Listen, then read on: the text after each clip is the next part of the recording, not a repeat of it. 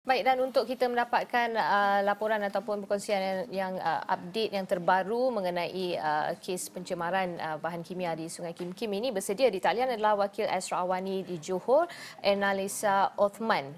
Erna, kalau boleh kongsikan apa perkembangan terkini? Hello, terima kasih uh, Najib dan uh, Jiha apa yang dapat kita kongsikan di sini sehingga hari ini uh, kerja-kerja pembersihan di sekitar Sungai Kingkim masih lagi giat dijalankan oleh anggota uh, unit hazmat dan kerja-kerja di pembersihan saya difahamkan uh, dilakukan uh, selama 24 jam. Dan apa yang boleh kami kongsikan di sini seramai uh, 143 orang yang terjejas akibat pencemaran uh, sisa kimia di Pasir Gudang masih lagi uh, menerima rawatan di hospital.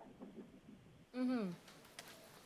Dan juga Enha sendiri bagaimana uh, uh, kalau kita boleh rangkumkanlah uh, keseluruhannya Enha sendiri uh, bersama dengan Fidaus dan juga Faris uh, membuat liputan selama ini. Bagaimana untuk uh, Erna sifatkan keadaan semasa terutamanya kalau kita boleh lebih fokus kepada penduduk di kawasan sekitar nyata ada rasa panik itu di kawasan, uh, oleh penduduk-penduduk kawasan sekitar Pasir Gudang. Bagaimana pada pandangan uh, uh, Erna sendiri melihat kepada penduduk sekitar? Adakah mereka faham apa maklumat yang disampaikan oleh pihak berkuasa bahawa kerja-kerja pembersihan sedang dijalankan atau mereka masih lagi tertanya-tanya status terkini?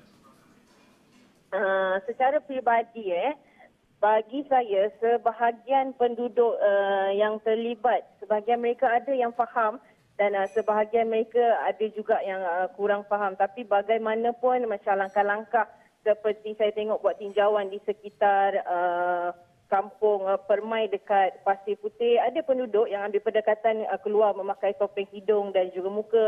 Dan uh, walaupun dalam keadaan sebegini masih ada juga sebahagian kanak-kanak yang keluar bermain uh, di taman permainan tapi tetap uh, orang kata Uh, meng, apa, mengambil langkah berjaga-jaga dan uh, sekitar tinjauan kita semalam di uh, Stadium Majlis Perbadaran Tertutup di Pasir Gudang, uh, rawatan kepada mangsa-mangsa yang terjejas akibat uh, pembuangan sisa bahan kimia masih lagi diteruskan uh, dan uh, seperti biasa uh, unit-unit seperti anggota sukarelawan juga uh, tidak terlepas dalam membantu misi-misi uh, tersebut untuk meringankan uh, beban uh, pihak berkuasa.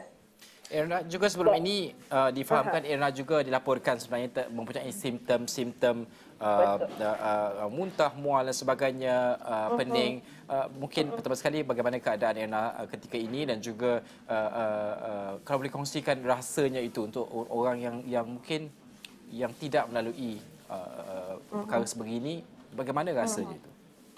Uh, kalau dapat saya kongsikan, kalau tak silap saya empat hari lepas saya bertugas uh, akhir di Hospital Sultan Ismail HSI ketika sesi lawatan uh, Menteri Pendidikan Datuk Mazli. Jadi ketika akhir uh, sesi dan media tu sebenarnya saya memang dah rasa uh, tak sedap, tak sedap badan pening kan. Lepas tu kita muntah-muntah dan uh, dipendekkan cerita saya ke klinik dan dapat surat rujukan untuk terus ke Hospital Sultan Ismail lah dan uh, untuk hari ini rasanya Alhamdulillah saya dah mula tugas seperti biasa dan apa yang uh, saya dapat kongsikan sedikit di sini selepas kejadian tu dalam dua tiga hari ada juga uh, dua rakan media daripada media Prima uh, apa ni terkena. Uh, maksudnya uh, kena simptom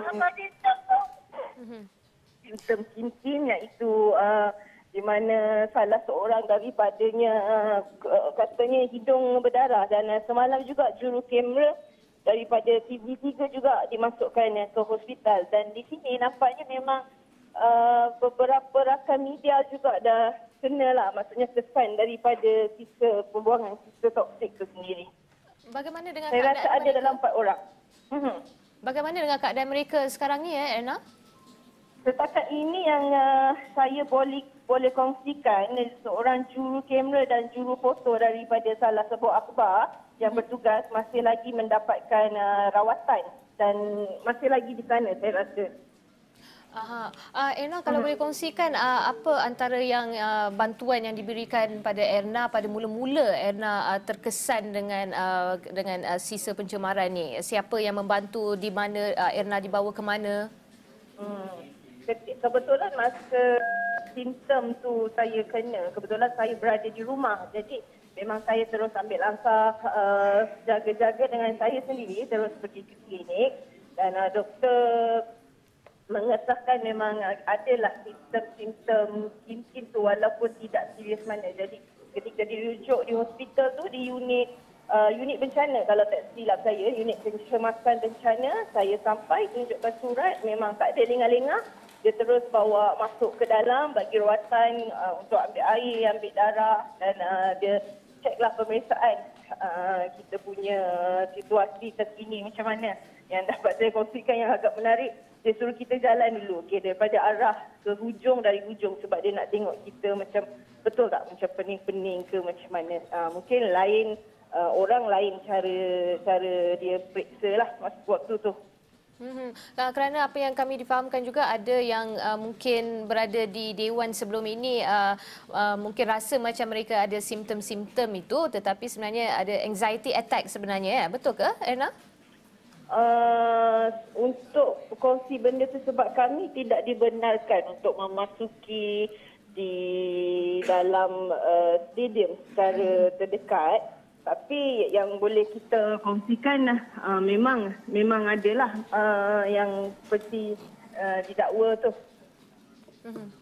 Uh, enak kalau ada mungkin ada update mengenai uh, mana-mana syarikat atau mana-mana individu yang uh, lebih ramai ditahan ke? Ataupun ada uh, proses ataupun uh, plan untuk mendakwa mereka yang terlibat mereka yang bertanggungjawab dengan pembuangan sisa toksik ni? Enak untuk dari segi uh, pendakwaan tu uh, be- belum ada apa. Cuma yang dapat uh, saya kongsikan di sini uh, mengenai pembersihan di Sungai Kinsim yang 1.3 kilometer daripada 1 kilometer kawasan tercemar uh, sudah pun uh, dibersihkan sehingga 4 uh, petang semalam dan kerja-kerja pembersihan dikatakan uh, berjalan lancar setakat ini uh, sejak Rabu lalu dan mungkin di, mungkin uh, aktiviti untuk pembersihan yang 1.5 km tu pun uh, rasanya dah dah selesai lah. Mm-hmm. Uh, Erna, mungkin bagaimana setelah uh, laporan kita uh, terima iaitu uh, kerja-kerja pembersihan kawasan tercemar seperti yang disebutkan tadi di Sungai Kim Kim uh, sudah selesai dibersihkan adakah keadaannya sekarang ini membenarkan ataupun orang uh, penduduk sekitar itu boleh uh, melakukan aktiviti seperti biasa ataupun masih lagi pihak berkuasa uh, menasihatkan mereka untuk berhati-hati?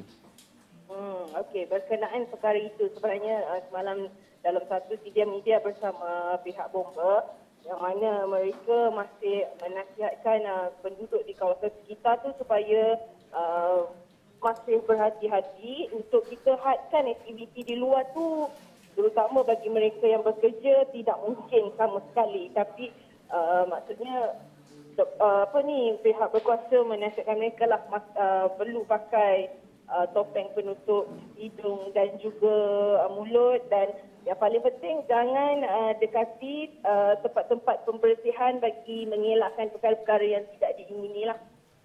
Bila uh, bercakap tentang pakai mask, topeng muka hmm. dan sebagainya ni untuk kita fahami, ada juga laporan berita mengatakan bahawa sampai habis dijualnya uh, topeng ataupun emas muka itu uh, di kawasan sekitar Pasir Gudang. Adakah uh, Erna sempat meninjau uh, jualan ini dan sebagainya? Uh, bagi penjualan uh, topeng uh, mulut dan juga hidung, ya, betul uh, dakwaan Najib di sana kebanyakan memang uh, kebanyakan kedai-kedai yang jual topeng dan apa topeng mulut dan juga hidung memang uh, orang kata separuh tu memang orang kata laris lah. Disebabkan uh, fenomena ni. Bahkan uh, topeng industri juga di, difahamkan uh, laris dijual pada uh, saat dan uh, ketika. Sebentar tadi kita ada Menteri Yeo Bayin dan juga mungkin uh, Erna boleh kongsikan apakah uh, mungkin yang Erna sudah Okey, kita terputus talian. Kita akan cuba menghubungi kembali Wakil Esrawani yang berada di Johor untuk mengetahui situasi semasa uh, proses uh, pembersihan sebenarnya uh, pencemaran Sungai Kim Kim ini, bagaimana keadaannya uh, sedia kala dan sebagainya dan juga yang menariknya, uh, bukan yang menariknya lah, sebenarnya Wakil Esrawani ini turut terkena uh, simptom Kim Kim itu ter, uh, uh, tersebut. Kerana ini dia membuat laporan, uh, beliau juga terkena tempias uh, tersebut dan juga telah mendapat rawatan dan Alhamdulillah uh, sekarang keadaannya bertambah uh, baik dan juga boleh seperti yang kita dengarkan. Kalau sebelum ini kita call saja Erna, batuk dan sebagainya. Tapi sekarang uh, alhamdulillah keadaannya semakin bertambah baik.